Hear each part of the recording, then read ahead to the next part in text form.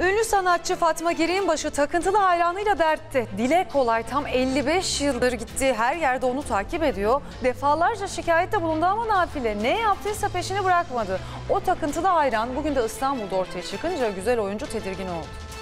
Naylonunu çangallamadan ufak ufak kır kirişi yala. Fazla uzatma güzellikle paramı ver. Birini gördüm ona benziyordu. Yalan. Cidden Göster bana. Yani fotoğrafı bende var. Buralardaydı. Şu mu efendim? Evet. Evet. Evet. Adı Yamanlı. Usta oyuncuyu tedirgin eden kişi tam 55 yıldır peşini bırakmayan takıntılı hayranı. Dile kolay yarım asırdır ne yaptıysa bir türlü yakasını kurtaramadı. Böyle biri bakıyor. İşte o.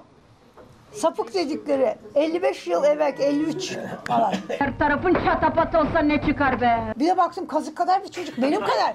Ben de o zamanlar 19 yaşında falanım. Yeşilçam'ın usta ismi Fatma Girik, İstanbul Klasik Otomobilciler Derneği'nin kendisi için düzenlediği doğum gününe katıldı. Bir başka emektar aktör İzzet Günay da oradaydı. Nice 75'lere. Sevgili Fatma Girik 75. doğum gününü kutladı.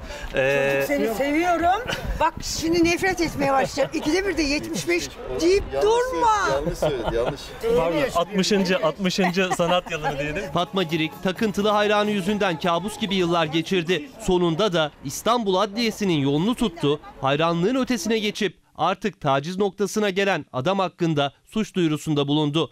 Beni koruyun dedi. Düşünsene ya 50 sene, 50 sene, 53 sene falan uzaklaştırmak. Yani yaklaşmasın diye. Yoksa ne yapacak adam?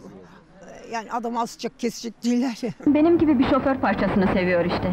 Senin gibi bir salon kuklasını değil. Yeşilçam'ın en güzel filmleri arasındadır Şoför Nebahat filmi. Yaklaşık 50 yıl önce çekildi. Başrolde İzzet Günay ve Fatma Girik vardı. Daha bu film çekilmeden yıllar önce bir hayranı Fatma Girik'in peşine düştü ve onu ömrü boyunca yakın takip aldı.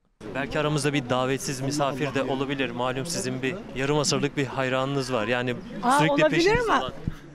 Olabilir mi diyorsun? Bilmiyorum birini gördüm ona benziyordu. Yalan. Cidden Göster bana. Şu mu efendim? Evet. Evet. Evet. Adı Yamanlı. Tam 55 yıldır takip ediliyor Fatma Girik. Otelde, sette hatta evinde bile. Bir anda o takıntılı hayranıyla göz göze gelebiliyor. Son olarak geçen yıl yattığı hastaneye kadar gelmişti. Hastane yatağında yatıyordum. Böyle kapıdan içeri girdi, girdiği an. Girdiği an gözünden. Sen dedim yaptı bana. Hani sus der gibilerden. Defalarca polise başvurdu Girik. Çünkü gittiği farklı şehirlerde bile o adam karşısına çıkıyor. Bir gün Ankara'da karşılaştık. Orada haber verdim. Gene polis geldi aldı bunu.